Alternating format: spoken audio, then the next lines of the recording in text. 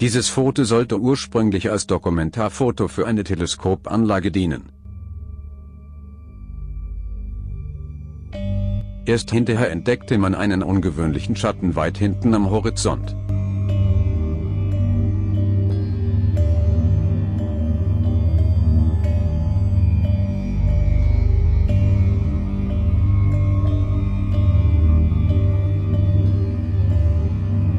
Hat man hier tatsächlich so etwas wie eine fliegende Untertasse auf einem Foto festgehalten?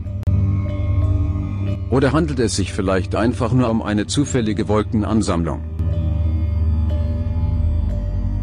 Dieses Foto bleibt wohl auch in Zukunft eines von vielen rätselhaften Bildern, auf die kein Experte eine Antwort weiß.